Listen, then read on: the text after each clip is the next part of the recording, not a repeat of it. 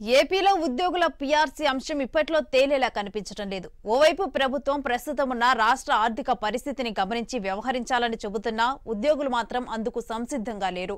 ఇప్పటికే ప్రభుత్వంతో పలుమార్లు చర్చలు జరిపినా అవేవీ సఫలం కాలేదు. అటు ప్రభుత్వాన్ని ఉద్యోగులను ఒకే తాటి మీదకు తీసుకురావాలని సీఎస్ సమీర్ శర్మ చేసిన ప్రయత్నాలు బెడిసికొట్టాయి.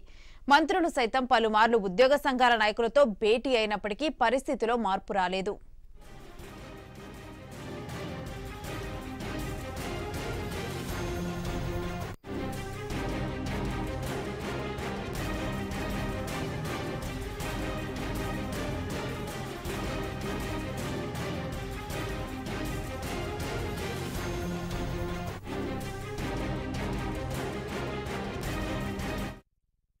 దీంతో ఉద్యోగ సంఘాల నాయకులందరూ ఒకే తాటిపైకి వచ్చి ప్రభుత్వానికి తమ నిరసన వ్యక్తం చేయాలని చూస్తున్నారు.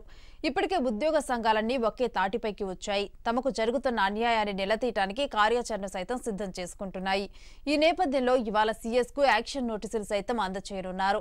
ఇదిలా ఉంటే పీఆర్సీ జీవోను రద్దు చేయాలని దాఖలైన పిటిషన్పై ఇవాళ ఏపీ హైకోర్టులో విచారణ జరగనుంది.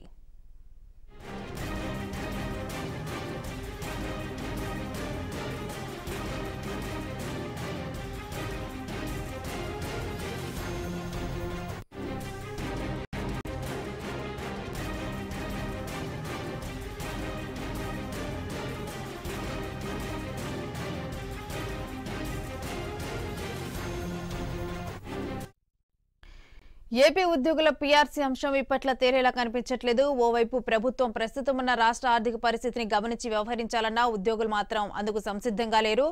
అయితే ఇప్పటికే ప్రభుత్వంతో పలుసార్లు చర్చలు జరిపినా కానీ అవేవి సఫలం కాలేదు. ఇక ఇదే విషయం పైన హైకోర్టులోనూ పిటిషన్ వేయటం జరిగింది. ఈరోజు ఆ పిటిషన్ కూడా విచారణకు వచ్చే విచారణకు రానుంది. ఇంకా ఇదే అంశంపై మరింత సమాచారాన్ని మా ప్రతినిధి ప్రసన్న లైవ్లో అందిస్తారు. ప్రసన్న పీఆర్సీపై అసలు ఏపీలో ఈ రోజు నెలకొన్న పరిస్థితులేంటి?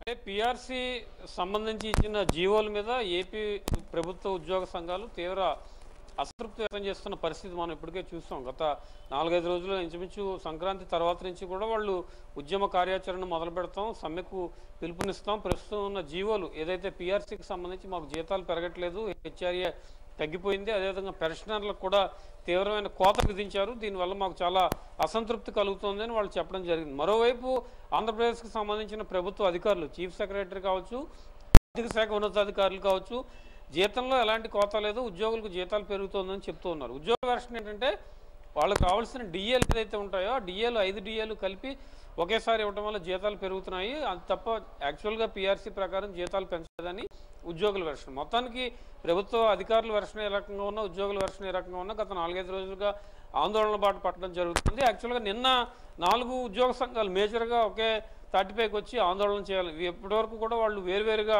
ఏపీ ప్రభుత్వ ఉద్యోగుల సంఘం నుంచి ఏపీ జేఏసీ అమరావతి ఏపీ ఎన్జిఓలు అదేవిధంగా ఏపీ సెక్రటరియట్ అసోసియేషన్ వీళ్ళంతా విడివిడిగా ఇప్పటివరకు చర్చలు జరుపుకున్నారు. కానీ నేను సాయంత్రం ఒక ప్రైవేట్ హోటల్లో సమావేశం అయినప్పుడు ఇక్కడి నుంచి కలిసి పని చేయాలని వాళ్ళు ఒక నిర్ణయాన్ని కూడా రావడం జరిగింది. దీంతో ఈ రోజు నుంచి వాళ్ళ కార్యాచరణ అంతా కూడా ఉద్యోగ సంఘాలన్నీ కలిపి విడివిడిగా కాకుండా ప్రతి సంఘం ప్రతి ఉద్యోగుల మీద పోరాటాలను నిర్ణయం తీసుకోవడం జరిగింది. యాక్చువల్గా ఈరోజు ఉదయం పదకొండున్నరకి వీళ్ళ మీటింగ్ ఉంది. కానీ కేబినెట్ సమావేశం జరుగుతుంది కాబట్టి కేబినెట్లో సచివాలయంలోనే రెండు సమావేశాలు జరిగితే కొంత సెక్యూరిటీ ఇబ్బందులు ఉంటాయి కాబట్టి కేబినెట్ అయిపోయిన తర్వాత మధ్యాహ్నం మూడు గంటలకి ఉద్యోగ సంఘాలు సమావేశం పెట్టుకున్నాయి. ఉదయం ఎవరికి వాళ్ళే భేటీ అవ్వడం నలుగురు కలిసి ఒకసారి నిర్ణయించుకోవడం భవిష్యత్ కార్యాచరణ ఏంటి అని. ఇక నెక్స్ట్ పాయింట్ ఏంటంటే బహుశా భవిష్యత్ కార్యాచరణ ఈ రోజు వాళ్ళు సిఎస్కి సమ్మె నోటీస్ ఇస్తారని ఏపీ ఎన్జిఓలు చెప్పారు. కానీ పదకొండు గంటలకు సమ్మె నోటీస్ ఇచ్చే పరిస్థితి లేదు. మరి ఈ రోజు చర్చించుకున్న తర్వాత సిఎస్కి ప్రభుత్వ ఉద్యోగులు ప్రధానంగా ఏపీ ఎన్జిఓల తరపున సమ్మె నోటీస్ ఇస్తారా? లేకపోతే ఒక రెండు వారాలు ప్రభుత్వం నుంచి ఈరోజు రోజు కేబినెట్ కూడా జరుగుతుంది కాబట్టి